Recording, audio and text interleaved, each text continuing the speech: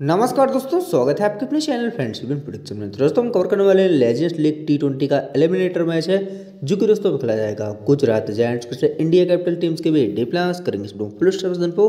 दोनों टीमों के एक एक प्लेयर के stats according to batting order से आपको बता दूँगा। इस मैच का टीम कॉम्बिनेशन क्या रहने वाला है हमारा, वो भी आपको इस वीडियो से मिलने वाला है। दोस्तों, वीडियो लाइक करके शुरुआत करना। यदि आपने अब तक यूट्यूब चैनल को सब्सक्राइब नहीं किया चैनल सब्सक्राइब करके बेल का आइकन ज़रूर प्रेस कर लें, जिससे आपको आने वाले मैचेस की वीडियो टाइम पर मिलती रहे। दोस्तों, हमारा फाइनल अपडेट आपको मिलेगा, जो हमारी फाइनल टीम मिलेगी, आपको हमारे टेलीग्राम चैनल पे मिलेगी।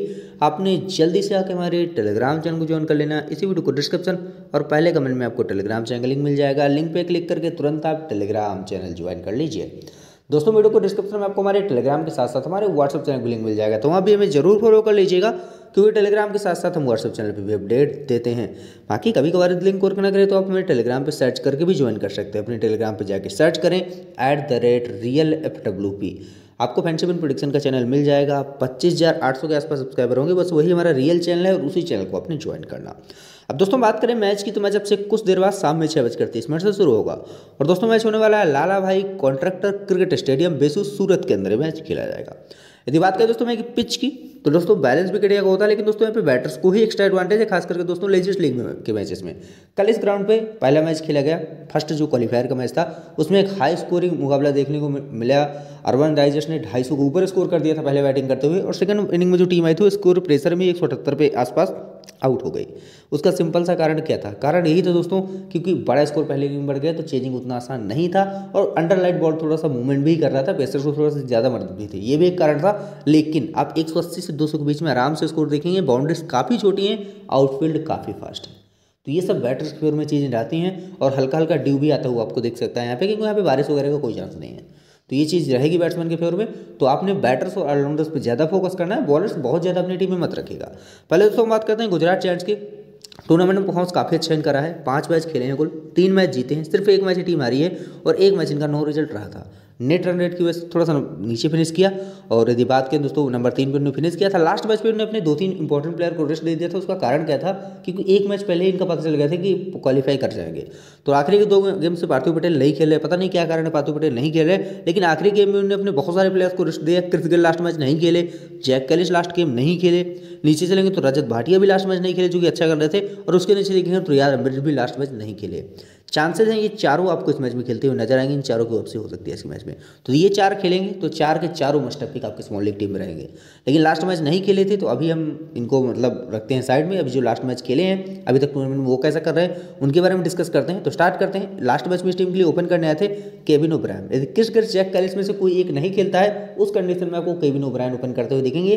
लेकिन ये दोनों लाइनअप में आ जाएँगे तो उन्हीं दोनों उन्हीं दोनों ने पूरे टूर्नामेंट में ओपन करी है। तो कैलिस और गेली ओपन करेंगे। फिर केविन ओब्रायन मिडल ऑर्डर खेलेंगे। तो इस चीज़ को आपने ध्यान रखना है कि दोनों में से कोई एक भी नहीं खेलता, कैलिस ओपन करेंगे, तब केविन ओब्रायन ओपन करेंगे उस कंडीशन में ये इंपॉर्टेंट हो जाएँगे लास्ट गेम बतौर ओपनर खेले, उनतीस रन किए, उसके पहले अठारह, ग्यारह, नौ किया था क्योंकि नीचे खेल रहे थे। आयरलैंड के प्लेयर हैं, अपनी टीम में एज अ प्लेयर ट्राई कर सकते थे बतौर ओपनर मेंशन होते हैं तो।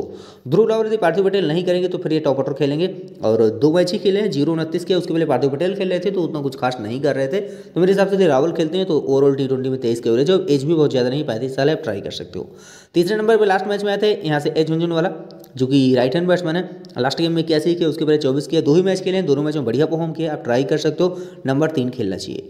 चौथा बैटिंग ऑर्डर लास्ट गेम था रिज़ल्ट लेवी का, ये इसी नंबर के आसपास ही खेलते हैं, जो चार मैच खेले हैं, एक, उनचास, अट्ठाईस, और यहाँ पे पाँच का स्कोर किया। लास्ट गेम में पहले प्लेइंग इलेवन में मेंशन नहीं थे, लेकिन सेकंड इनिंग में जब टीम की बैटिंग आई तो सब्सिट्यूट में से बैटिंग करने आए थे। चिराग खुराना की बात करें, चार में से तीन मैच खेले हैं, बाईस, चौबीस, दो किया हुआ बैटिंग ऑर्डर नीचे रहता है। आप छोड़ सकते हो। सिको को प्रसन्न, दो ही मैच खेले हैं लास्ट गेम में दो ओवर डाला, लेकिन आमतौर पर चार बार करके जाएँगे, उसके पहले चार ओवर डाल के एक विकेट निकाला। बैटिंग से एक गेम में बारह किया हुआ नंबर छः के आसपास बैटिंग करेंगे, तीन चार ओवर की बॉलिंग कराएँगे।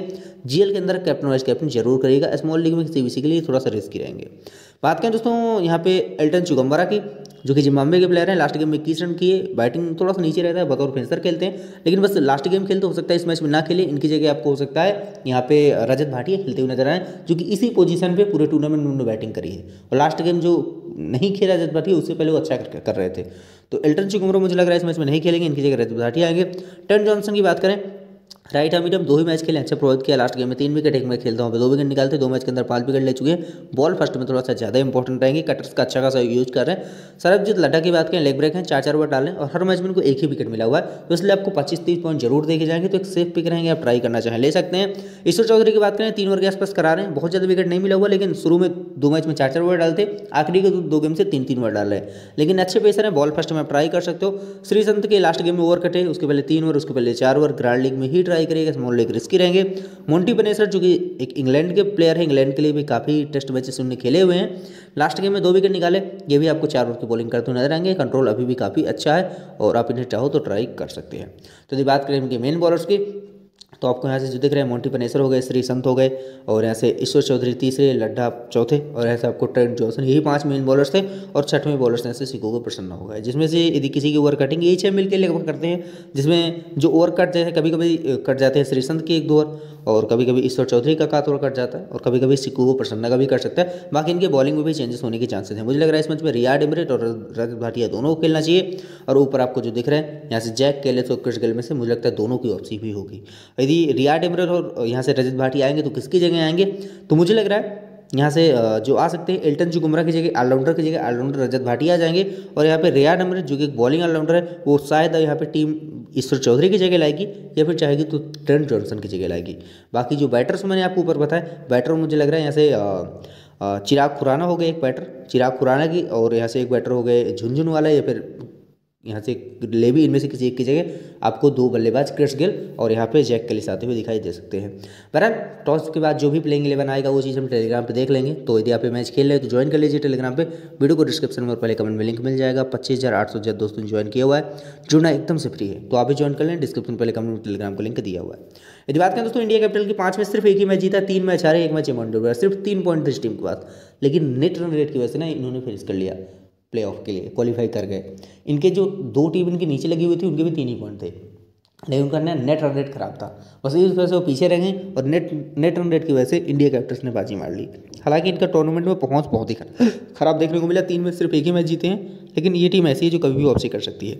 ओपन करते देखेंगे ऐसे रिकॉर्डो पावल इनके साथ ओपन करने आएँगे, गौतम गंभीर। यदि बात करें दोस्तों पावल की करेबियन प्लेयर है। ओवरऑल आखिरी सीरीज़ से पहले उतने कुछ अच्छे नहीं थे, लेकिन जो कैरेबियन प्लेयर होते हैं ना, उनका जलवा ही रहा है इस टूर्नामेंट में। क्योंकि बाउंड्रीज छोटी है कैरेबियन प्लेयर के पास क्षमता होती है बड़े सॉस लगाने की। वैसे कुछ इनसे देखने को मिला, चार मैच जो खेले हैं, चौदह सौ छब्बीस और ज़ीरो का स्कोर किया, एक हंड्रेड आया तो जिस दिन इनका बल्ला चलता है तो फिर मतलब भाई बड़ा स्कोर ही आता है। तो अपनी टीम में एज ए प्लेयर ट्राई करिए सी सीबीसी के लिए मैं सजेस्ट नहीं करूँगा, क्योंकि उतनी भी अच्छे मुझे प्लेयर नहीं लगे, और सामने वाली टीम का बॉलिंग अटैक तकड़ा रहेगा, जो अपने मेन बॉलर्स के साथ जाएँगे। गौतम गंभीर ने एक ही अच्छी इनिंग के लिए थी तिरसठ के, उसके बाद ज़ीरो, तीन और सत्रह कुछ खास नहीं कर पाए। एज अ प्लेयर ही ट्राई करेगा। सी बी सिर्फ़ अपने जीएलपी ही ट्राई करना है। स्मॉल लीग में सिर्फ़ एज अ प्लेयर ही आपने रखना है। नीचे देखेंगे दोस्तों, भरत चिपली। जो लास्ट एक मैच खेलते पैंसठ रन की तो एक अच्छे टच में दिखे थे आप ट्राई कर सकते हो। ठीक ठाक पिक रहेंगे जीएल में ज़रूर ट्राई कर लीजिएगा। स्मॉल लीग थोड़ा सा रिस्की रहेंगे। क्रिकेट ये भी एक कैरेबियन प्लेयर है। इस टूर्नामेंट से पहले करीब ग्यारह का एवरेज था, लेकिन इस टूर्नामेंट में अच्छा किया। दो अच्छे स्कोर हैं, पैंतालीस और उनसठ के, आठ और ग्यारह किया हुआ टोटल चार इनिंग में आप देखेंगे। दो अच्छे स्कोर किए हैं। तो अपनी टीम में आप ट्राई कर सकते हो। वेस्ट इंडीज के प्लेयर हैं, जिस दिन दिन रहा तो बड़ा स्कोर फिर से करके जा सकते हैं। केविन पीटरसन तीन मैच खेले चार छः और सत्तर किया हुआ, एक ही अच्छा स्कोर है ये भी ठीक ठाक पे करेंगे स्पेशली बैट फ़र्स्ट में। बेन टैंक का बैटिंग ऑर्डर थोड़ा सा नीचे हो गया तो आपने क्या करना है, इनकी टीम पहले बैटिंग करते तभी ट्राई करें। सेकंड इनिंग हो सकता है, बहुत ज़्यादा बैटिंग ना आए। तैंतीस, पाँच और सैंतीस किया हुआ है। एक मैच में बैटिंग आया नहीं था। दो अच्छे स्कोर इनके भी हैं तो बैट फ़र्स्ट में ट्राई करिएगा। बैट सेकंड में थोड़ा सा एवरेज ऑप्शन आएँगे। इस रू उड़ाने की बात करें लास्ट गेम में नंबर सात पे आ गए थे आमतौर पे नंबर सात पे जो बैटिंग ऑर्डर रहता है, वो नर्स का रहता है नंबर आठ पे उड़ाना खेलते। लेकिन लास्ट मैच में थोड़ा ऊपर भेजा गया ज़ीरो पे आउट हुए। उसके पहले एक विकेट बॉलिंग से, फिर एक विकेट फिर दो विकेट तीन विकेट बॉलिंग से काफ़ी अच्छा उड़ाना ने किया। है लेफ़्ट आर्म पेसर है तो अपनी टीम में अपन को ज़रूर लेके जाएँ। एशले नर्स बॉलिंग से काफ़ी अच्छा करके जा रहे हैं। लास्ट गेम में एक विकेट उसके पहले दो विकेट फिर ज़ीरो ज़ीरो टोटल तीन विकेट मिला हुआ बैटिंग से भी उन्होंने काफ़ी अच्छी इनिंग्स खेली हैं। इकतालीस और चौंतीस, छब्बीस की। तो अपनी टीम में ज़रूर रखिएगा। सीबीसी की सेफ़ ऑप्शन है स्पेशली इनकी टीम पहले बैटिंग करेगी।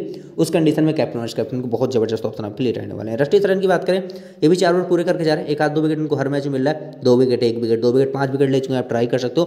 के पी अपन के ओवर करते रहते हैं। दो तीन ओवर ही डाले इसलिए थोड़ा सा रिस्की हो जाते हैं। नीचे देखेंगे प्रवीण तांबे। इनका तो भाई लगभग सर्टन है कि तीन ओवर ज़रूर डालेंगे। इस वजह से आप इनको जेल में रोटेट करिएगा। और हमेश बेनेट जो आते हैं, जो कि न्यूजीलैंड के बॉलर है, और ये चार चार ओवर डाल रहे एक ही विकेट अब तक ले पाए हैं। बाकी दोस्तों, बेंच में जो प्लेयर्स हैं, मुझे नहीं लगता कोई खेलेंगे। क्योंकि लास्ट मैच में ये टीम के लिए, इस टीम के लिए ना लास्ट मैच जो था डू और टाई मैच था। जीतते तो कंफर्म पहुँचने वाले थे, लेकिन ये टीम लास्ट मैच हार गई थी और फिर गुजरात ने अपना आखिरी मैच जीत लिया तो नेट रन वजह से पहुँच गए। नहीं तो मतलब ये अपना बेस्ट लाइनअप लास्ट मैच में नहीं उतारा है। तो इसी लाइनअप के साथ लोग जाएँगे। भले ही लास्ट मैच नहीं जीते, लेकिन इस टीम का बेस्ट प्लेइंग इलेवन है।